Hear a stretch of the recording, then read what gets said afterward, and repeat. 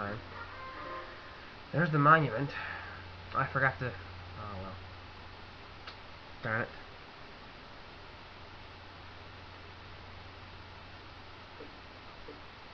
I really needed to use the Reckless Scholar.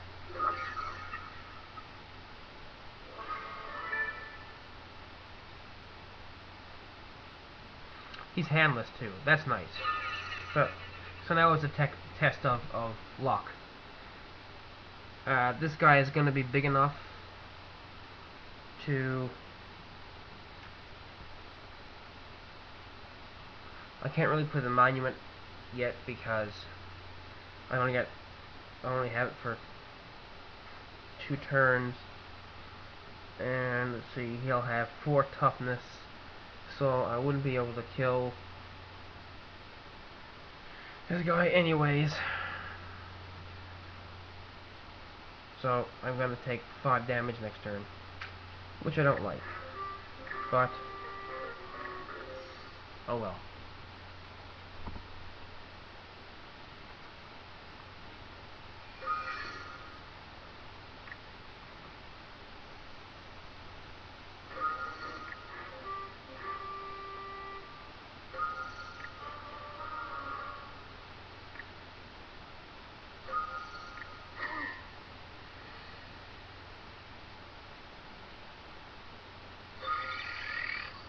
Damn.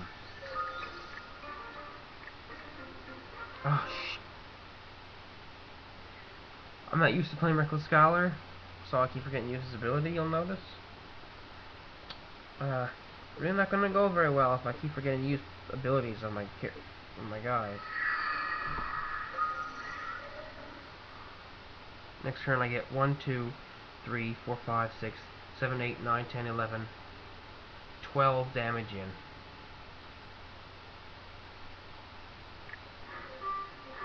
But I mean, that's not enough to...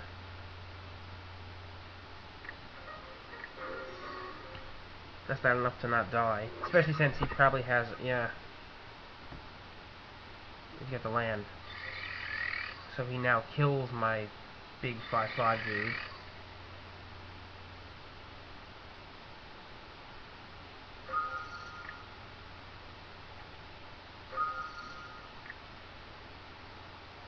And that was a great top deck for him, actually. He, he didn't know it, but it, it was. The reason I didn't play this earlier, you, you, you're thinking you didn't the 5 damage, you could have played that, and, um,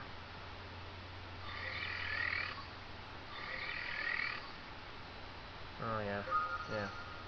Any attacks? Five, six, seven, eight, nine. No, five, six, seven, eight. You can only kill two of them, of course.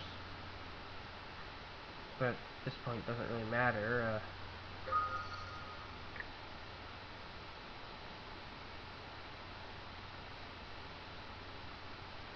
if I had played the Monument, I would have had the sack creature the next turn. I would have done one creature. So, I'm going to be down to one here.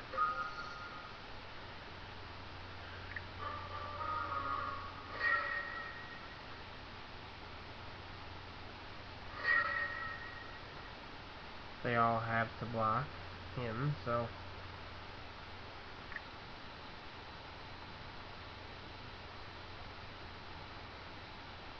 I really need to draw more of my weight creatures earlier in the game. I got really go back to the drawing board and the when I go to sideboard.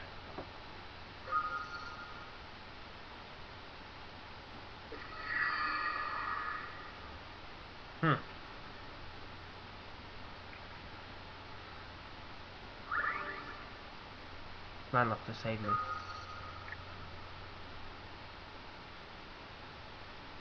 If I draw a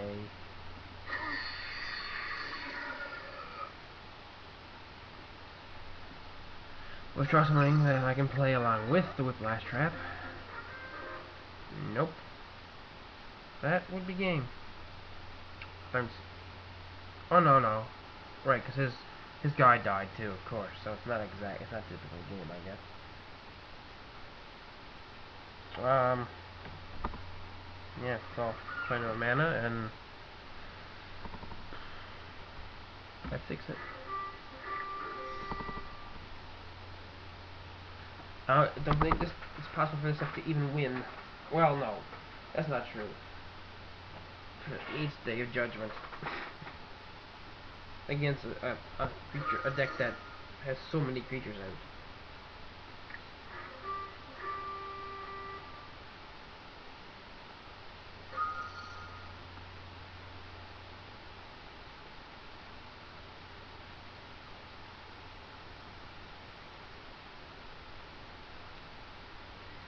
Let's give him some more life, why not?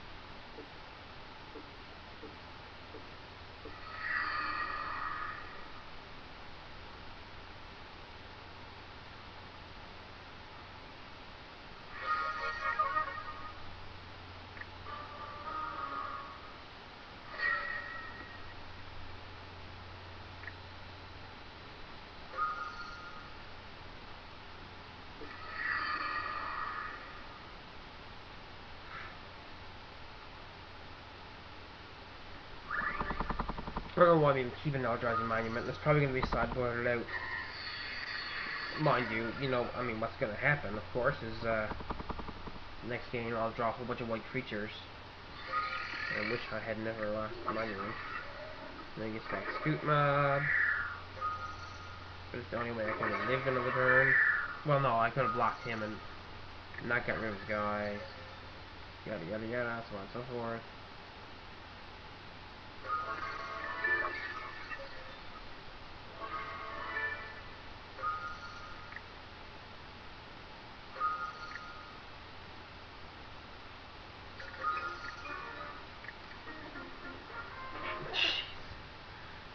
That's a nice top deck.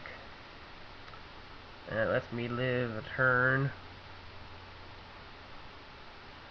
But what am I really gonna do? Like, I'm just gonna concede. I could have lived another turn.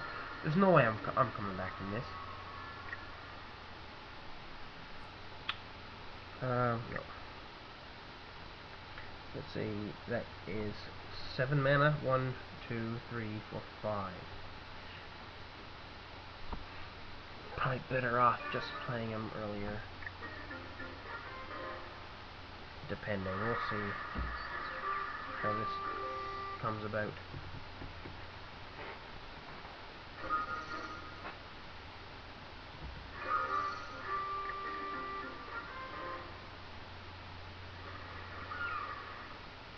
What does he do?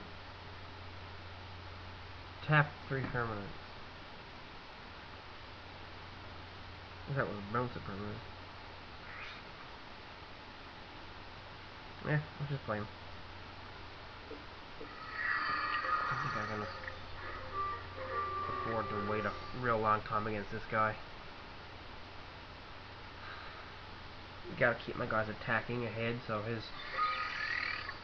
uh, basilisks don't have a chance to run into them.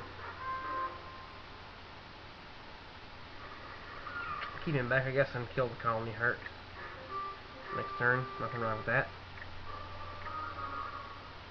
Might as well get the full use out of him. Play this next following turn.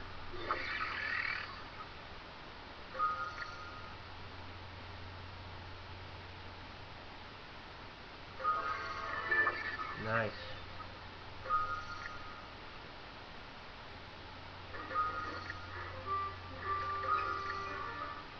Probably take three, and he'll gain two.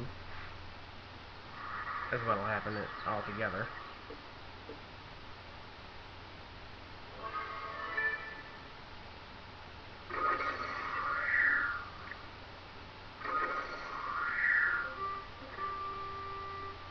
So I'm sure he probably has an Ondu Cleric.